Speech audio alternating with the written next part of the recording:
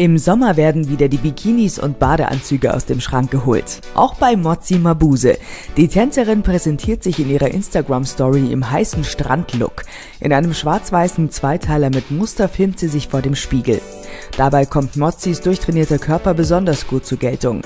Der Zweiteiler umschmeichelt ihre heißen Kurven und vor allem die muskulösen Arme der Let's Dance-Jurorin lassen bei den Fans Schnappatmung aufkommen. Dazu hat Mozzi eine wichtige Botschaft. Jeder Körper ist ein Bikini-Body. Lebe dein Leben jetzt, schreibt sie zu dem Clip. Damit stellt die Tänzerin klar, dass man keine Diät halten oder sich im Fitnessstudio verausgaben muss, um am Strand im Badelook gut auszusehen.